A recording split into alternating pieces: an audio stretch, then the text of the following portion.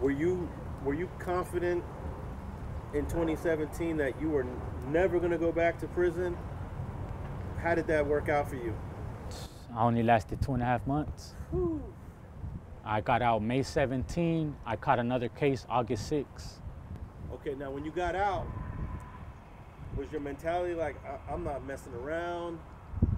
Um, I got my wife, Yeah. uh, my family's here. As, as soon as I got out, that same day, they had at my mom's pad. It was like a whole gangster party.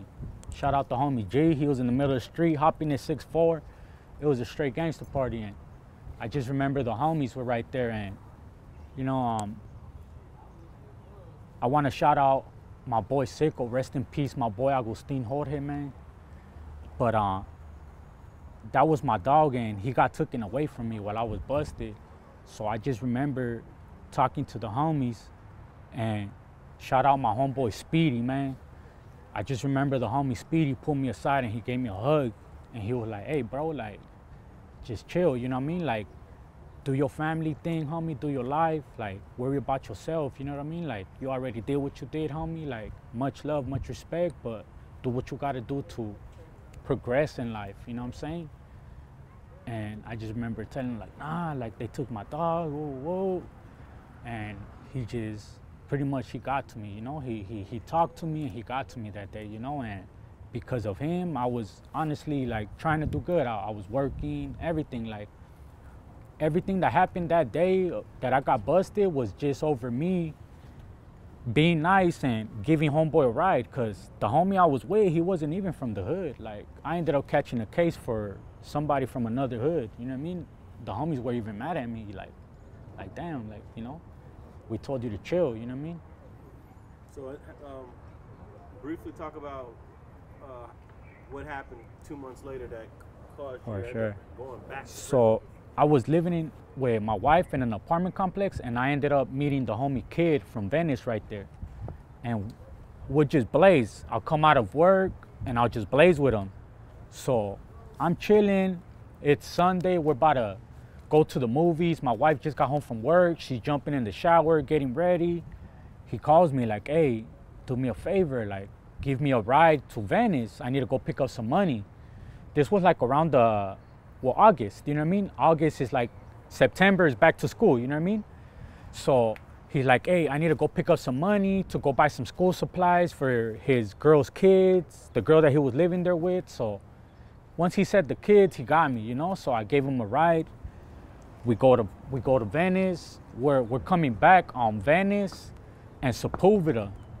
I'm going down Venice. I make a ride on Sepulveda. Well, actually, I'm waiting at the light. Sepulveda, the cops coming down Sepulveda. I'm waiting. He keeps going. As soon as I turn, he busts a bitch, then busts another bitch and gets behind me. As soon as he gets behind me, I'm pulling over because he already blurted me. As soon as I'm pulling over, homeboy starts literally almost crying in my passenger seat, like, nah, bro, I'm on the run for a murder case, this, this, and that. And he's like, and I picked up this burner. Like, what? Soon as he said that, not even the burner, just him saying that he was running for a murder case, it just, I, I'm fresh out. In there, rule number one is you don't leave a homie unstuck. Anytime a homie needs help or anything, you don't leave a homie unstuck. So, what do I do? Er, I gas it. End up hitting a couple corners. I'm trying to lose them. I'm trying to tell homeboy to run. I'm on a high control GPS. Like, where do I think I'm going? I'm not going nowhere. I have a GPS on my ankle, you know what I mean? So I'm going, trying to hit a couple corners. I end up wrecking. I end up wrecking and end up getting busted.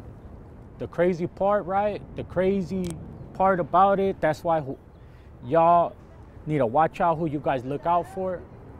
Homeboy wasn't even on the run for a murder case. He was on the run for beating up his baby mama. That's what he was on the run for. So I ended up wrecking my car, catching a new case, two months fresh out of doing 10 years for somebody that was trying to run, couldn't man up to going and fighting a domestic violence case. He only did 90 days fucking um, violation. He got a 90 day violation. I got a whole new case and I wrecked my car. I had a 2006 black on black Charger, like clean, clean too. I only had it a week. I got it on Sunday. I wrecked it the following Sunday. And um, how much time did you end up having to take on that new brand new case? I ended up taking a deal for 32 months with 80. They gave me 32 months with 80%. So they pretty much gave me, because it's 16 months. If you look up the case, it's 16 months, but they doubled me up. So I ended up doing like 22 months. So if I do my math correct, get out in early 2020. Yeah, February 2020. Man, so you lost almost uh almost two, two and a half, almost three more years. Yeah. huh? Yeah, my daughter was already two when I came out. She was about to turn two. No, no. Yeah, she was already two. So did you have a little bit of animosity with the homie from Venice because? Oh, hell yeah. Yeah. Hell yeah. Don't ever let me catch you, my G. I need that. Okay, so yeah, I was gonna ask, um, what's the conversation been with him since you've? Uh, I haven't seen him. I haven't seen him. Yeah. Yeah, he don't he he didn't live right there no more, you know what I mean? And I I moved since then and stuff like that. do you yeah, I think haven't you seen still him. you still want that, even though Yeah, that might nah. end up giving you another year? Yeah, nah, I'm over it. I'm over it. I'm just Yeah. messing with y'all, you know? It's just a little heat of the moment, you know what I mean? Nah, it's just, What is you your know what mean? wife? it comes say- with it. What, what was your wife's reaction? Because you just came home after all that time, and then you're going right back for almost three more years. That's why I got married. To be honest, that's why I got married. I got married inside prison. I got married inside prison so that way we could have conjugals and all that. You know And you're still with the same woman? Yeah. That's pretty rare, or is it Yeah. common? You think? Because I know a lot of guys marry just so they can have that that hookup. Yeah. But when they come home and they're free, they they, they move on. Yeah, I think it depends, you know? Yeah. It depends on the individual. Like, I've always been like a real loyal and real, you know, like that's just me. Like, if somebody looks out for me and stuff like that, like, I- I'm going to ride with you. If you show me some type of love and that you got me, I got you full fledged, you know what I mean? That's why I'm still here till this day, you know? So your wife was with you before you got out on your first case. Yeah. She did the last three years with me. And then she's got to deal with this new case. She Yeah. must have been frustrated. Oh huh? yeah, yeah. She was. Uh, she she ended up she bailed me out and everything. You know what I mean? Like, I ended up. I was busted for like four days, and then my PO lifted the hold, so she bailed me out, and I fought it from the streets. I turned myself in on um, April second of 2018, and I got out February like 12th of 2020. And when you when you went in, what kind of yards did the yards change? Yeah, I believe, shoot, I was scared, you know what I mean? Because right before I got out, that's when they were doing all that 50 50 stuff, you know what I mean? Now I'm pretty sure I think all level twos are, are pretty much like that, you know what I mean? I just remember right there, they would just say, like, look, right now this is our yard. Because there was already yards right there in that prison that were already bad. It was only two good solid yards. It was E and F. So we was just like, if any bus comes, they bring anybody of them right there, it's on site. You know what I mean? As soon as they step foot right there, it's on site. It don't matter who's there, what, what you got to do. You know what I mean? It's on site. Now, a lot of these guys that are on these 50-50 yards, they start their own gangs. Did you ever have to bump into any of these guys from these these uh, PC gangs, such as the I guess the two fivers are the biggest of all the PC gangs.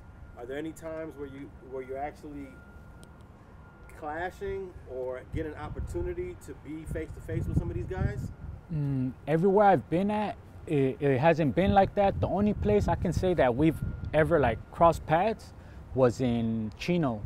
In Chino, like we'll be going out to yard, and then they'll have them like in like the cages for medical or something like that, and they'll try to wolf and stuff like that. But the homies, like that's one thing you can't let them, you can't let them bait you, cause if they're yelling at you and you let them get to you and you start yelling back, you in trouble. Cause we we, we don't even acknowledge them. You know what I mean? Like Yeah. they they not even there. Like Because it's almost treating them as an equal. yeah. Right. Unless them doors are cracked and you could fight, then yeah, flight them. But as far as going back and forth like that, nah, you, you get you get beat up for something like that, you know.